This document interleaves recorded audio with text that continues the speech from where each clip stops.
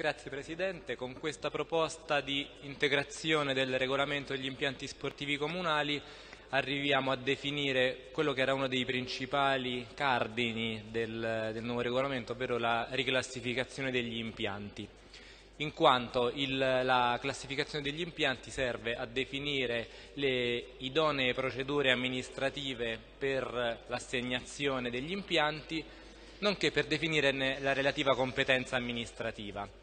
È stata quindi presentata questa, una proposta depositata qualche mese fa, che è stata analizzata dagli uffici, i quali ci hanno trasmesso sulla base delle caratteristiche tecniche indicate dal regolamento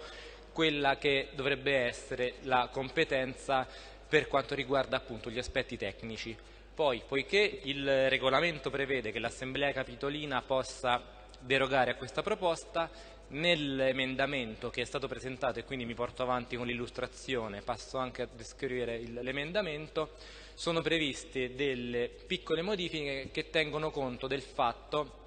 che attualmente l'amministrazione soffre eh, nel, nell'aggiornamento delle concessioni in essere, infatti sono 80 le concessioni che sono scadute e quindi per eh, arrivare a una gestione ottimale delle, degli, dei contratti di concessione degli impianti sportivi comunali, alcuni impianti tecnicamente di competenza dei municipi sono stati assegnati al Dipartimento laddove sono emersi dei problemi a livello di personale o di competenza del personale presente negli uffici municipali.